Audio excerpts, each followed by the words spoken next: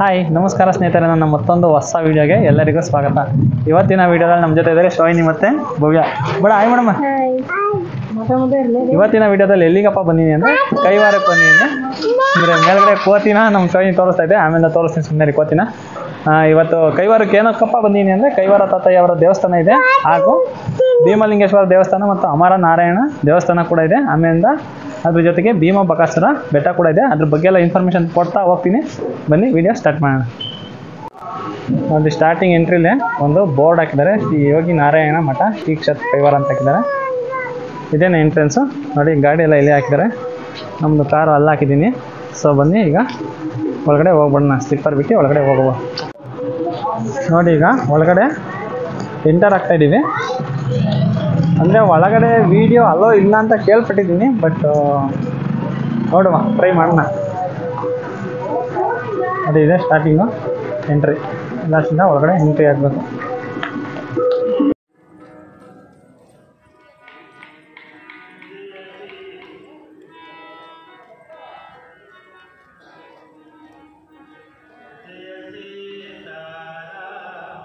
ನೋಡಿ, ಕೈವಾರ ತಾತಯ್ಯ ಅವರ ಹೆಸರು ಬಂದ್ಬಿಟ್ಟು ನಾರಾಯಣಪ್ಪ ಆಗುತ್ತೆ.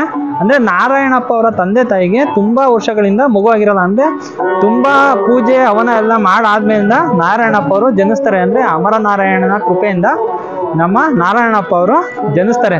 ಅಂದ್ರೆ ಅವ್ರ ಅತ್ತೆಗೆ ಆಸ್ತಿ ಆಸೆ ಇರುತ್ತೆ. ಸೊ ಅದಕ್ಕೋಸ್ಕರ ಅವರ ತಂದೆ, ತಾಯಿಯವರ ಸಾವಿ ಕೂಡ ಅವರ ಅತ್ತೆನೇ ಕಾರಣ ಆಗ್ತಾರೆ. ಅಂದ್ರೆ ಅವ್ರ ಅತ್ತೆನೇ ಕಾರಣ ಆಗಿರೋದು ಊರಿನ ಜನಕ್ಕೆಲ್ಲ ಗೊತ್ತಾಗುತ್ತೆ. ಸೊ ಅದಕ್ಕೋಸ್ಕರ ಅವ್ರ ಅತ್ತೆ ಊರ್ ಬಿಟ್ಟು ಕೂಡ ಹೊರಟಾಗ್ತಾರೆ. ಅಂದ್ರೆ ಅವ್ರು ಊರ್ ಬಿಟ್ಟು ಹೋದಾಗ ಆಮೇಲೆ ನಾರಾಯಣಪ್ಪ ಅವ್ರನ್ನ ಸಾಕೋದು ಅಮರನಾರಾಯಣ ದೇವಸ್ಥಾನದ ಅರ್ಚಕರು ಬಂದ್ಬಿಟ್ಟು ನಮ್ಮ ನಾರಾಯಣಪ್ಪ ಅವ್ರನ್ನ ಕರ್ಕೊಂಡೋಗಿ ಅವರೇ ಸಾಕಿ ದೊಡ್ಡವ್ರು ಮಾಡ್ತಾರೆ. ನೋಡಿ, ದೇವಸ್ಥಾನದ ಒಳಗಡೆ ಹೇಗಿದೆ ಅಂತ, ಅಂದರೆ ನೀವು ದೇವಸ್ಥಾನದ ಒಳಗಡೆ ಬರ್ತಿದ್ದಂಗೆ ನೀವು ಇಲ್ಲಿ ಸುತ್ತ ನೋಡ್ಬೋದು. ಅಂದರೆ ನಾರಾಯಣಪ್ಪ, ಅಂದರೆ ಕೈವಾರ ತಾತಯ್ಯವರ ಜೀವನ ಚರಿತ್ರೆದು ಎಲ್ಲ ಫೋಟೋಗಳನ್ನು ಈ ದೇವಸ್ಥಾನದ ಒಳಗಡೆನೆ ಹಾಕಿದ್ದಾರೆ.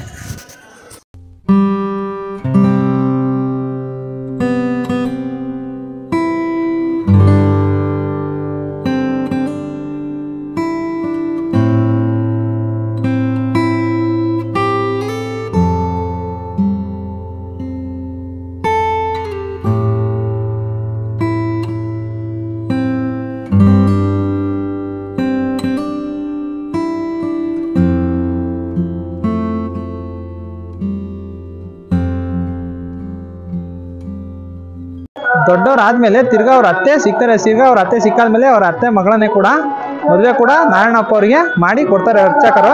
ಆಮೇಲಿಂದ ಮದುವೆ ಮಾಡಾದ್ಮೇಲೆ ಜೀವನ ಏನಾದ್ರು ಮಾಡ್ಬೇಕಲ್ಲ? ಸೊ ಅದಕ್ಕೋಸ್ಕರ ಅವ್ರ ಹೆಂಡತಿ ಬಳೆ ಮಾರಕ್ಕೋಸ್ಕರ ನಾರಾಯಣಪ್ಪ ಅವ್ರನ್ನ ಕಳಿಸ್ತಾರೆ. ಸೊ ಬಳೆ ಮರಕ್ಕೆ ಹೋದಾಗ ಅವರು, ಅಂದ್ರೆ ಬಳೆ ಮರದ್ದು ದುಡ್ಡಿಗೋಸ್ಕರನೇ ಮಾಡ್ತಾ ಇರಲಿಲ್ಲ, ಅಂದ್ರೆ ಯಾರು ನಾಳೆ ಕೊಡ್ತೀನಿ ಅಂದ್ರೆ ಅವ್ರೇನು ತಲೆ ಕೆಡ್ಸ್ಕೊಂತಾ ಇರಲಿಲ್ಲ. ಶಿವ ಕೃಷ್ಣಾರ್ಪಣ ಮಸ್ತು ಕೃಷ್ಣಾರ್ಪಣ ಮಸ್ತು ಅಂತ ಹೇಳ್ಕೊಂಡು ಮನೆಗೆ ಖಾಲಿ ಕೈಯಲ್ಲೇ ತುಂಬಾ ಸಲ ಬಂದಿರು ಸೊ ಅದರಿಂದ ಬೇಸತ್ತ ಅವ್ರ ಹೆಂಡತಿ ಕೂಡ ನೀನು ಯಾವಾಗಲೂ ಹಿಂಗೆ ಮಾಡ್ತೀಯ ಅಂತ ಹೇಳ್ಬಿಟ್ಟು ಮದುವೆ ಆಗಿ ಮೂರು ಮಕ್ಕಳಾಗಿರುತ್ತೆ ಅದಾದ್ಮೇಲೆ ಇದು ಮನೆ ಕೂಡ ಸೇರ್ಸಲ್ಲ. ಆಮೇಲಿಂದ ಮನೆ ಬಿಟ್ಟು ಆಚೆ ಹಾಕ್ಬಿಡ್ತಾರೆ ನಾರಾಯಣಪ್ಪ ಅವ್ರನ್ನ. ಅಂದ್ರೆ ದುಡ್ಡು ತಗೊಬರ್ತಾ ಇರೋದಲ್ಲ ಇವರು? ಬಳೆ ಎಲ್ಲ ಮಾರ್ಬಿಟ್ಟು ಕೃಷ್ಣಾರ್ಪಣ ಮಸ್ತು ಕೃಷ್ಣಾರ್ಪಣ ಮಸ್ತು ಅಂತ ಹೇಳ್ತಾ ಇರ್ತಾರಲ್ಲ?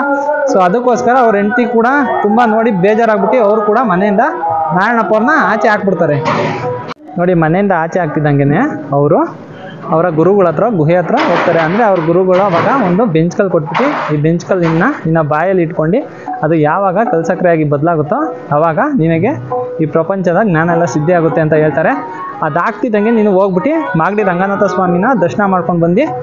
ಇನ್ನು ಜಪ ಸ್ಟಾರ್ಟ್ ಮಾಡು ಅಂತ ಹೇಳ್ತಾರೆ. ಅಲ್ಲಿ ಮಾಗಡಿ ರಂಗನಾಥ ಸ್ವಾಮಿ ಅವರನ್ನು ದರ್ಶನ ಪಡೆಯೋಕೆ ಹೋದಾಗ ಅಲ್ಲಿ ಮಾಗಡಿ ರಂಗನಾಥ ಸ್ವಾಮಿಯವರು ಕನ್ಸಲ್ಲಿ ಬಂದ್ಬಿಟ್ಟು. ಅಂದರೆ ನಾರಾಯಣಪ್ಪ ಅವರ ಕನ್ಸಲ್ಲಿ ಬಂದು. ನಾರಾಯಣಪ್ಪಂಗೆ ಹೇಳ್ತಾರೆ, ರಾಮಾಯಣ ಕಾಲದಲ್ಲಿ ಕೂಡ ಪ್ರಸಿದ್ಧಿಯಾಗಿದೆ ಈ ಜಾಗ. ಮಹಾಭಾರತದ ಕಾಲದಲ್ಲಿ ಕೂಡ ಪ್ರಸಿದ್ಧಿಯಾಗಿದೆ ಈ ಜಾಗ. ಅದೇ ಥರ ಈ ಕಲಿಯುಗದಲ್ಲಿ ನಿನ್ನ ಹೆಸರಿಂದ ಈ ಕೈವಾರ ಹೆಸರು ಆಗಲಿ ಅಂತ ಹೇಳ್ಬಿಟ್ಟು ಅಂದರೆ ಕನ್ಸಲ್ಲಿ ಹೇಳುತ್ತೆ ದೇವ್ರು ಬಂದ್ಬಿಟ್ಟು. ಸೊ ಅದರಿಂದ ಅವಾಗ ಕೈವಾರ ತಾತಯ್ಯವರು ವಾಪಸ್ಸು ಮತ್ತೆ ಗುಹೆ ಒಳಗಡೆ ಬಂದ್ಬಿಟ್ಟು ತಪಸ್ಸಿ ಕೂತ್ಕೊಂತಾರೆ. ನೋಡಿ ಇದೇ ಜಾಗದಲ್ಲಿ ಕೈವಾರ ತಾತಯ್ಯವರು ತಪಸ್ಸಿಗೆ ಕೂತ್ಕೊಂಡಿಂತ ಜಾಗ ಇದು. ನೋಡಿ ಇದೇ ಗುಹೆ ಒಳಗಡೆನೆ ಕೈವಾರ ತಾತಯ್ಯ ಅವರು ತಪಸ್ ಮಾಡಿರೋದು. ಅಂತಾರೆ. ತಪಸ್ಸಿ ಕೂತ್ಕೊಂಡಾದ್ಮೇಲೆ ಏನಾಗುತ್ತಪ್ಪ ಅಂದ್ರೆ ಆ ಬೆಂಚ್ಗಳನ್ನ ಬಾಯಲ್ಲಿ ಇಟ್ಕೊಂಡು ಓಂ ನಮೋ ನಾರಾಯಣಯ ನಮಃ ಅಂತ ಹೇಳಕ್ ಹೋಗ್ತಾರೆ. ಬಟ್ ಅದು ಹೆಂಗ್ ಉಚ್ಚಾರಣೆ ಆಗುತ್ತೆ ಅಂದ್ರೆ ಓಂ ನಮೋ ನಾರಾಯಣಯ ನಮಃ ಅಂತ ಉಚ್ಚಾರಣೆ ಆಗ್ತಾ ಇರುತ್ತೆ. ಸೊ ಅದಕ್ಕೆ ಅವರು ತೆಗೆದು ಎರಡು ಮೂರು ಸಲ ಟ್ರೈ ಮಾಡ್ತಾರೆ. ಎರಡು ಮೂರು ಸಲ ಮಾಡ್ತಾ ಹಂಗೆ ಬರುತ್ತೆ. ಸೊ ಅದಕ್ಕೋಸ್ಕರ ಅವ್ರು ಕೇಳ್ತಾರೆ, ಏನಪ್ಪ ಹಿಂಗಾಗೋತೈತೆ ಹೇಳಕ್ಕೆ ಆಗ್ತಾ ಇಲ್ಲ ಅಂದಾಗ ತಿರ್ಗಾ ದೇವರು ಪ್ರತ್ಯಕ್ಷ ಆಗ್ಬಿಟ್ಟು ಅವರಿಗೆ ಹೇಳುತ್ತೆ.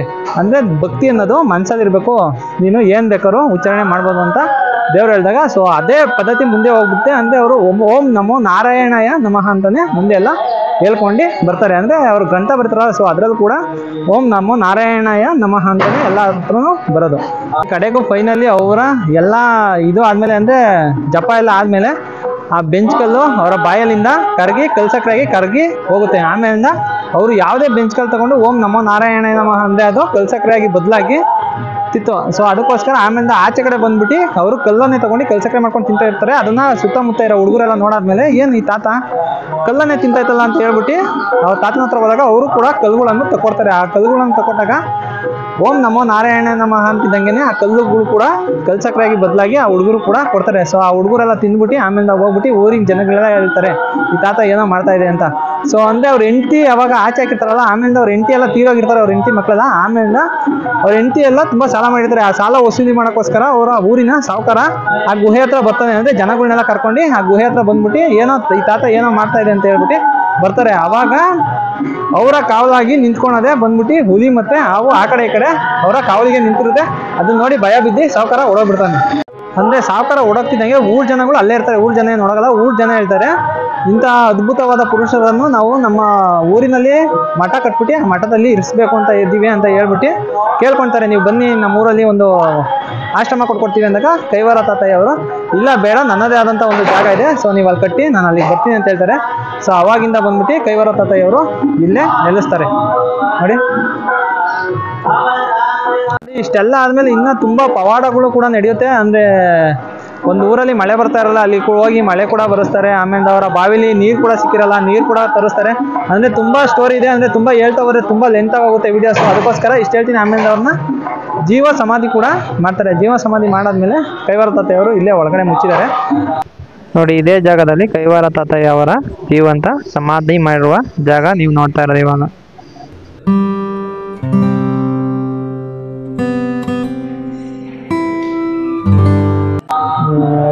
ಇವತ್ತು ಅಂದ್ರೆ ಸ್ಟೋರಿ ಇನ್ನೂ ತುಂಬಾ ಇದೆ ಬಟ್ ನಾನು ಸ್ವಲ್ಪ ಹೇಳಿದ್ದೀನಿ ಅಂದ್ರೆ ಇದು ಕೂಡ ನಿಮಗೆ ತುಂಬಾ ಉದ್ದ ಆಯ್ತು ಅಂತ ಅನ್ಸುತ್ತೆ. ಶಿವೈನಿ ಇಲ್ಲಿ ನೋಡ ಇಲ್ಲಿ. ಏನದು? ಏನ್ ಮಾಡ್ತೈತೆ ಪರಿವಾಳ?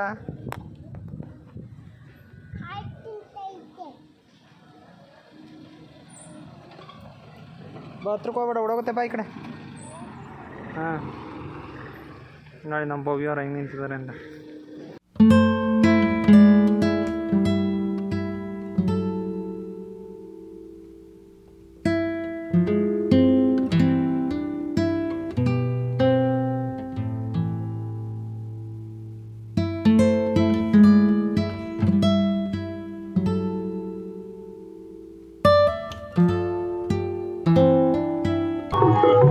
ಪ್ರತಿದಿನ ಅನ್ನದಾನ ಕೂಡ ಇರುತ್ತೆ. ಬನ್ನಿ ಹೊರಗಡೆ ಹೋಗ್ಬಿಟ್ಟು ಅನ್ನದಾನ ಎಲ್ಲ ಹೇಗೆ ನಡೆಯುತ್ತೆ ಅನ್ನೋದೆಲ್ಲ ನಿಮಗೆ ತೋರಿಸ್ಕೊಡ್ತಾ ಹೋಗ್ತೀನಿ.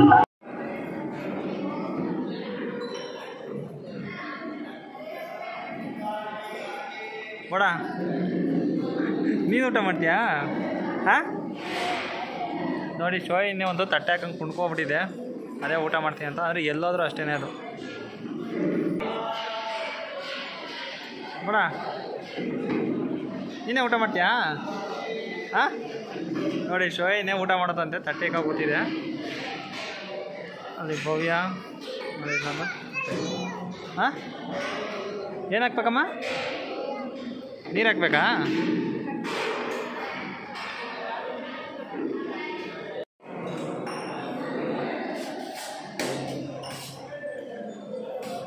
ನೋಡಿ, ನಮ್ಮ ಶೋಯಿನಿ ಕೂಡ ಒಂದು ಸ್ವಲ್ಪ ಪ್ರಸಾದ ಹಾಕಿದ್ದೀನಿ. ಅದೇ ನಮ್ಮ ಬಡ. ತಿನ್ನೋಣಮ್ಮ, ಹೆಂಗೈತೆ?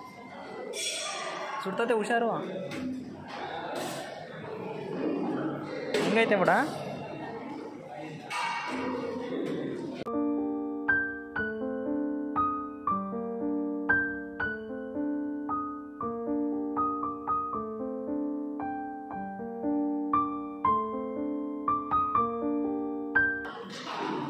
ತಿನ್ನ ಅನ್ನ ತಿನ್ನು ಬಿಡ.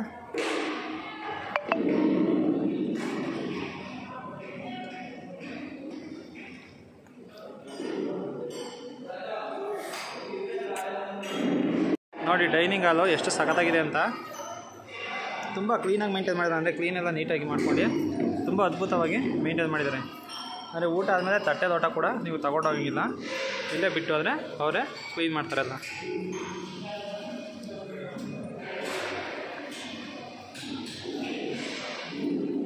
ಎಷ್ಟು ಕ್ಲೀನಾಗಿ ಮೇಂಟೈನ್ ಮಾಡಿದ್ದಾರೆ ಡೈನಿಂಗ್ ಹಾಲ್ನ ಅಂತ. ಎಷ್ಟು ಸಖತ್ತಾಗಿ ಮೇಂಟೈನ್ ಮಾಡಿದ್ದಾರೆ. ನೋಡಿ ಭವ್ಯವರ ಕೂತಿದ್ರು. ಸೊ ಇವಾಗ ಅಮರ ನಾರಾಯಣ ದೇವಸ್ಥಾನ ಹತ್ರ. ಹೋಗೋ ಬನ್ನಿ. ನೋಡಿ ನಮ್ಮ ಶೋಯಿನ್ ಏನು ಆಟ ಸಂಬಂಧ ಇದೆ. ಬರಮ್ಮ ತೋರಿಸು, ಏನು ಆಟ ಸಂಬಂಧ ಅದು? ಬೈಲಿ, ಜಲ್ದಿ. ಬೈಲಿ ಗಾಡಿ ಬರ್ತವೆ. ನೋಡಿ, ಇಲ್ಲೇ ಇದೆ. ಅಮರನಾರಾಯಣ ಸ್ವಾಮಿ ದೇವಾಲಯ. ಅಂದರೆ ಇದೇ ದೇವಸ್ಥಾನದ ಅರ್ಚಕರು ಅವರನ್ನು ಸಾಕಿದ್ದು.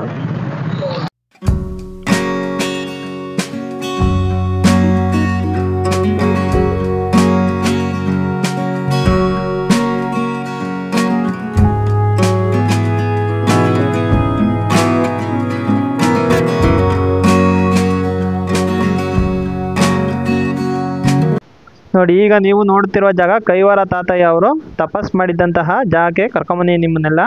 ಅಂದರೆ ನೋಡಿ, ಇಲ್ಲೆಲ್ಲ ಎಷ್ಟು ಸಖತ್ತಾಗಿ ಮಾಡಿದ್ದಾರೆ ಅಂದರೆ, ಸೇಮ್ ಎಲ್ಲ ಒಳ್ಳೆ ದೇವಸ್ಥಾನ ಥರ ಮಾಡಿದ್ದಾರೆ. ಅಂದರೆ ಮೇಲ್ಗಡೆ ಐನೂರು ಕೂಡ ಇದ್ದಾರೆ. ಸೊ ಅಲ್ಲಿ ಪೂಜೆ ಕೂಡ ದಿನನಿತ್ಯ ನಡೆಯುತ್ತೆ. ಅಂದರೆ ಕೈವಾರ ತಾತಯ್ಯ ಅವರು ತಪಾಸ್ ಮಾಡಿದಂಥ ಜಾಗಕ್ಕೆ ನಿಮ್ಮನ್ನೆಲ್ಲ ಕರ್ಕೊಂಡು ಹೋಗ್ತೀನಿ. ಬನ್ನಿ, ಮೇಲೋಗಿ ನೋಡೋಣ. ಅಂದರೆ ಕೆಳಗಡೆ ಕೇಳಿದೆ ಬಟ್ ಗುಹೆ ಓಪನ್ ಇರಲ್ಲ ಅಂತ ಹೇಳಿದ್ರು. ಇನ್ನು ನೋಡುವ, ಬನ್ನಿ, ಆದರೆ ಯಾವ ಟೈಮಲ್ಲಿ ಓಪನ್ ಮಾಡ್ತಾರೆ ಅನ್ನೋದು ಕೂಡ ನನಗೆ ಗೊತ್ತಿಲ್ಲ. ಅಂದರೆ ಓಪನ್ ಇರುತ್ತೆ ಅಂತ ಅಂದ್ಕೊಂಡೆ ಬಂದೆ. ಸೊ ನೋಡುವ, ಬನ್ನಿ. ಮೇಲೊತ್ತಾಗಿ. ನೋಡಿದ್ರು, ಒಳಗಡೆ ಯಾವುದೋ ವೀಡಿಯೋ ಮಾಡೋಂಗಿಲ್ಲ ಬಟ್ ನಾನು ನಿಮಗೆ ತೋರ್ಸೋಕ್ಕೋಸ್ಕರ ಮಾಡ್ಕೊಂಡಿದ್ದೆ ಅಂದರೆ ಅವ್ರು ಆಚೆ ಇದ್ದಾರೆ ಸೊ ಅದಕ್ಕೋಸ್ಕರ. ನೋಡಿ, ಕೈವಾರ ತಾತಯ್ಯವರು ತಪಾಸ್ ಮಾಡಿರೋದು ಹೆಂಗಿದೆ ಅಂತ. ನೋಡಿ, ಅಲ್ಲಿ ಐದು ಜನ ಪಾಂಡವರದು ಲಿಂಗ ಪ್ರತಿಷ್ಠಾಪನೆ ಮಾಡಿರ್ತಾರೆ. ಅಂದ್ರೆ ಲಿಂಗನ ಏನಕ್ಕೆ ಪ್ರತಿಷ್ಠಾಪನೆ ಮಾಡ್ತಾರೆ ಅನ್ನೋದು ಈಗ ಅಲ್ಲಿ ಅದೇ ಜಾಗ ಕರ್ಕೊಂಡು ಹೋಗ್ಬಿಟ್ಟು ನಿಮಗೆ ತೋರಿಸ್ತೀನಿ. ಬನ್ನಿ, ಹೋಗುವ.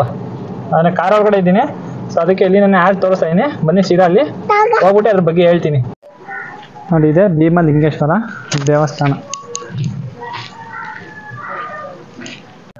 ನೋಡಿ ನಿಮ್ಗೆ ಅಲ್ಲಿ ಹಿಂದೆಗಡೆ ಬ್ಯಾಕ್ಗ್ರೌಂಡಲ್ಲಿ ಕಾಣಿಸ್ತಾ ಇದೆಯಲ್ಲ ಅದನ್ನ ಭೀಮ ಬಕಾಸುರ ಬೆಟ್ಟ ಅಂತ ಕರೀತಾರೆ. ಆ ಭೀಮ ಬಕಾಸುರ ಬೆಟ್ಟ ಅಂತ ಏನಕ್ಕಪ್ಪ ಕರೀತಾರೆ ಅಂದರೆ ಅದರೊಳಗಡೆ ಬಕಾಸುರ ಅನ್ನುವ ರಾಕ್ಷಸ ವಾಸ ಇರ್ತಾನೆ ಅಂದರೆ ಊರಿನ ಜನಗಳಿಗೆಲ್ಲ ಅವ್ರು ತೊಂದರೆ ಕೊಡ್ತಾರೆ ಅಂದರೆ ಊರಿನವರೆಲ್ಲ ಇಷ್ಟು ಆಹಾರ ನನಗೆ ತಗೊಂಬಂದು ಡೈಲಿ ಕೊಡಬೇಕು ಅಂತ ಇರುತ್ತೆ. ಅಂದರೆ ಪಾಂಡವರು ವನವಾಸದ ಟೈಮಲ್ಲಿ ಇಲ್ಲಿಗೆ ಬಂದಿರ್ತಾರಲ್ಲ ಸೊ ಅವಾಗ ಪಾಂಡವ ಭೀಮ ಇದ್ದವರು ಭೀಮ ತಗೊಂಡು ಹೋಗ್ತಾರೆ ಒಂದಿನ ಊಟನ, ಭೀಮ ಅಲ್ಲಿಗೆ ತಗೊಂಡು ಹೋಗ್ಬಿಟ್ಟು, ಅಂದರೆ ಅಲ್ಲಿರೋ ಆಹಾರನೆಲ್ಲ ಭೀಮನೇ ತಿಂದ್ಬಿಡ್ತಾರೆ. ಆ ಭೀಮ ತಿಂದಾಗ ಬಕಾಸುರನ ಸಿಟ್ಟು ಬಂದ್ಬಿಟ್ಟು ಭೀಮ ಮತ್ತು ಬಕಾಸುರ ಇಬ್ಬರು ಯುದ್ಧ ಮಾಡ್ತಾರೆ. ಸೊ ಅದಕ್ಕೋಸ್ಕರ ಭೀಮ ಬಕಾಸುರ ಬೆಟ್ಟ ಅಂತ ಆ ಬೆಟ್ಟಕ್ಕೆ ಹೆಸರು ಬಂದಿದೆ.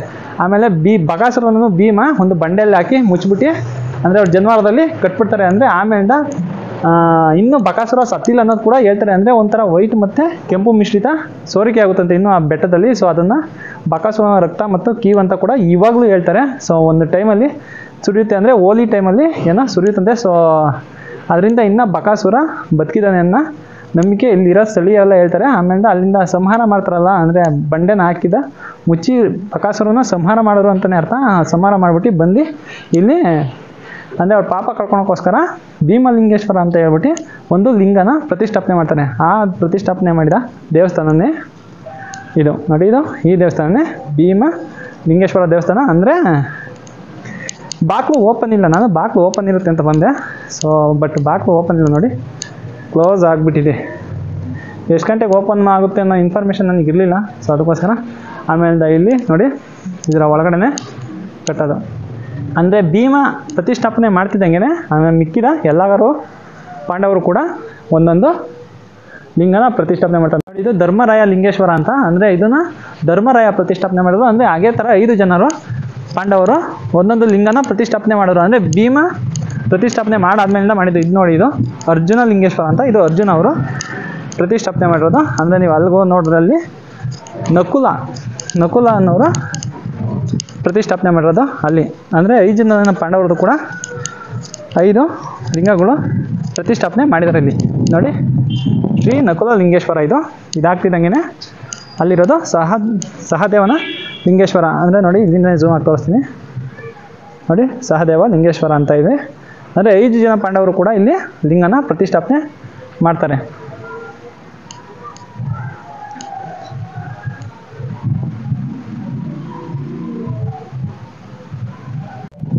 ನೋಡಿ, ರಾಮಾಯಣ ಕೂಡದಲ್ಲೂ ಕೂಡ, ರಾಮ, ಲಕ್ಷ್ಮಣ, ಸೀತೆ ಅವರು ಕೂಡ ಇಲ್ಲಿ ವನವಾಸದ ಸಮಯದಲ್ಲಿ ಬಂದಿದ್ರು ಅಂದರೆ ನಾವು ತುಮಕೂರಲ್ಲಿ ಕೇಳ್ಬಿಟ್ಟಿದ್ದೀವಲ್ಲ ನಮ್ಮ ನಾಮನ ಚಿಹ್ನೆಯಲ್ಲಿ, ಅಂದರೆ ನೀರು ಸಿಗದಿಲ್ಲದ ಕಾರಣದಿಂದ ರಾಮ ಬಾಣ ಹೊಡೆದ್ಬಿಟ್ಟು ಅಲ್ಲಿ ನಾಮನ ಚಿಲುಮೆ ಆಗಿದೆಯಲ್ಲ. ಸೊ ಅಲ್ಲಿ ರಾಮ ಬಿಲ್ ಹೊಡೆದಿದ್ರು, ಅಂದರೆ ಈ ಬಕಾಸುರ ಬೆಟ್ಟದಲ್ಲಿ ಲಕ್ಷ್ಮಣ ಅವರು ನೀರು ಸಿಗದ ಕಾರಣ ಲಕ್ಷ್ಮಣ ಅವರು ಬಿಲ್ ಹೊಡೆದಿರು. ಸೊ ಈ ಬೆಟ್ಟದಲ್ಲಿ ಲಕ್ಷ್ಮಣ ತೀರ್ಥ ಅಂತ ನೀರು ಕೂಡ ಇದೆ. ಅಂದರೆ ಆ ಲಕ್ಷ್ಮಣ ತೀರ್ಥದಲ್ಲಿ ಯಾರು ಇವಾಗಲೂ ನೀರು ತುಂಬ ಸಿಹಿಯಾಗಿರುತ್ತೆ.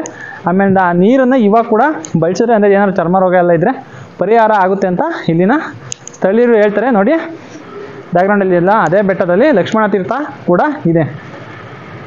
ನೋಡಿ, ಕೈವಾರ ಅಂದರೆ ಎಲ್ಲ ಕಾಲದಲ್ಲೂ ಕೂಡ ತುಂಬ ಪ್ರಸಿದ್ಧಿ ಬಂದಿದೆ ಅಂದರೆ ರಾಮಾಯಣ ಕಾಲದಲ್ಲಿ ರಾಮ, ಲಕ್ಷ್ಮಣ ಮತ್ತು ಸೀತೆ ಕೂಡ ಈ ಬೆಟ್ಟದಲ್ಲಿ ಬಂದಿದ್ದರು ಅಂದರೆ ಆಮೇಲಿಂದ ಭೀಮ ಮತ್ತು ಬಕಾಸುರ ಅಂದರೆ ಪಾಂಡವರು ಕೂಡ ಬಂದಿದ್ರು. ಆಮೇಲೆ ಈಗ ಕಲಿಯುಗದಲ್ಲಿ ನಮ್ಮ ಕೈವಾರ ತಾತಯ್ಯ ಅವರಿಂದ ತುಂಬ ಪ್ರಸಿದ್ಧಿ ಹೊಂದಿದೆ ಈ ಕೈವಾರ ಕ್ಷೇತ್ರ. ನೋಡಿ, ಇಷ್ಟೇ ಇವತ್ತಿನ ವೀಡಿಯೋ ಈ ವಿಡಿಯೋ ಏನಾದ್ರು ನಿಮಗೆ ಇಷ್ಟ ಆಗಿದ್ರೆ ಒಂದು ಲೈಕ್ ಮಾಡಿಬಿಡಿ. ಹೊಸ್ದಾಗಿ ಏನಾದ್ರು ನನ್ನ ಚಾನಲ್ ವಿಸಿಟ್ ಮಾಡಿದೆ ಸಬ್ಸ್ಕ್ರೈಬ್ ಮಾಡ್ಕೊಂಬಿಡಿ ಅಂತ ಹೇಳ್ತಾ ಇವತ್ತಿನ ಈ ವಿಡಿಯೋ ಮುಗಿಸ್ತಾ ಇದ್ದೀನಿ. ಬಾಯ್